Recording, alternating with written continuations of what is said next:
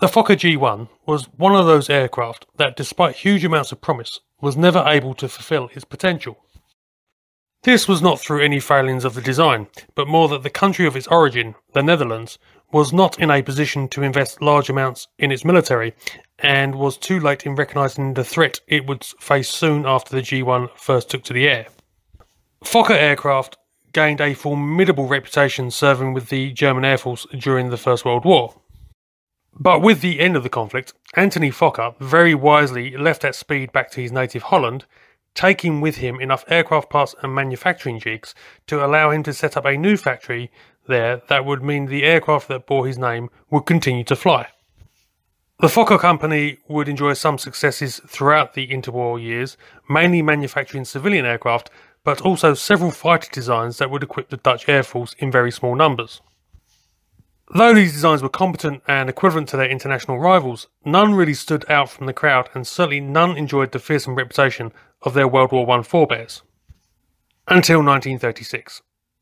In November that year, at the Paris Air Show, Fokker unveiled their new design the G1.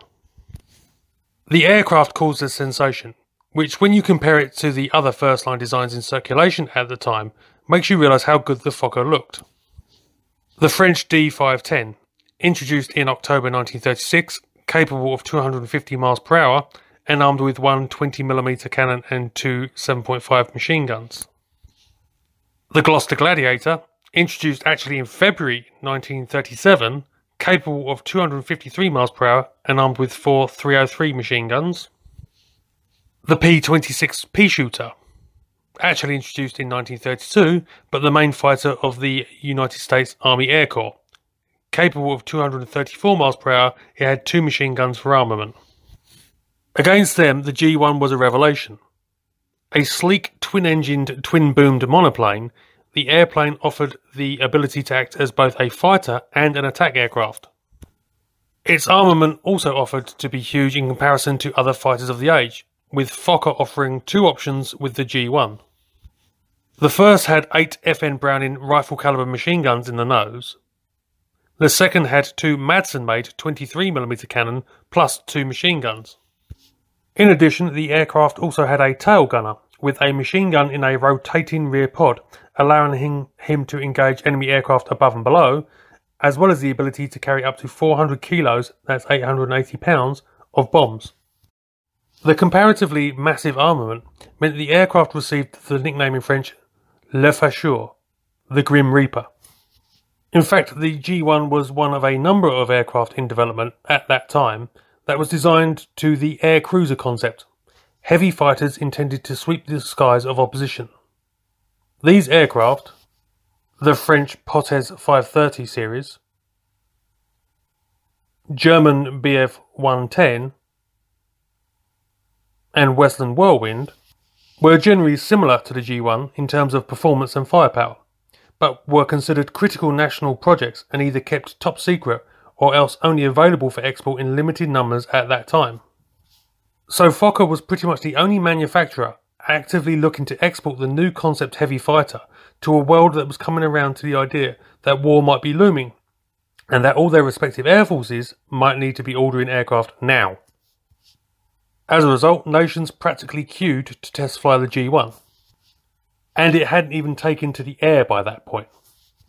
The prototype's first flight was made on 16 March 1937, and the aircraft demonstrated that it was surprisingly agile for an aircraft bigger and heavier than the standard fighters. The test program did not go without hitches, as a supercharger explosion in the Hispano engines almost caused the loss of the prototype, but once re-equipped with more powerful Pratt & Whitney twin Wasp engines, the test program proceeded well. Even before this was completed, orders were placed with Republican Spain ordering 26 in June 1937. Additional orders came from Denmark, Sweden, and the Netherlands Air Forces. Production began in earnest, and the capability of the G1 to be adapted to different roles with varied engine fittings, armament, and configurations would, on paper, make it a winner. The Swedes tested it with brakes as a dive bomber and found it very good in this role.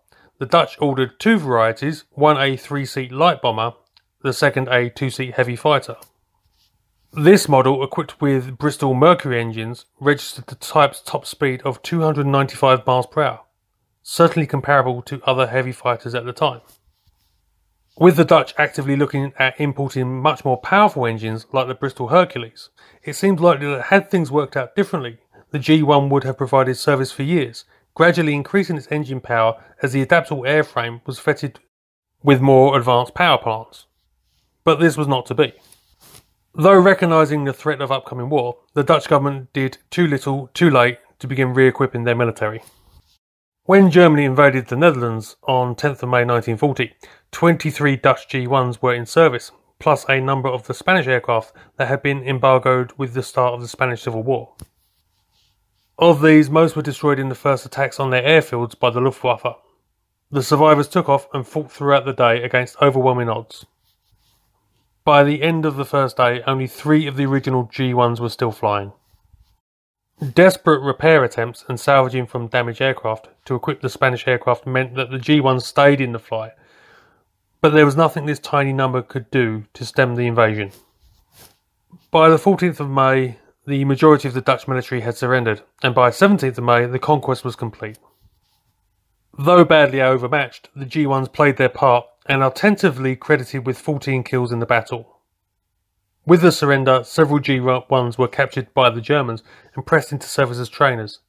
They performed this role for a couple of years before running out of spares and being scrapped. However, there is one final note of defiance from this aircraft. In May 1941, two Fokker personnel were able to steal one and use it to escape to England. There it was handed over to the Philip and Powis Aircraft Company, which studied the design to see what could be applied to British designs of the time. And that is the story of the Fokker G1, an aircraft of great potential that was blighted by planning and circumstances. For sources, check out the links in the description and at the end of the video. I will put some in for a video I've already made on the Westland Whirlwind and to an article where useful sites can be found. That wraps up this video. I hope you enjoyed it. If you are interested in military history and affairs, feel free to check out my website, militarymatters.online. I'll put a link in the description. Also, have a look at some of the other videos I've produced. You may find something else of interest. Check out some of the links coming up.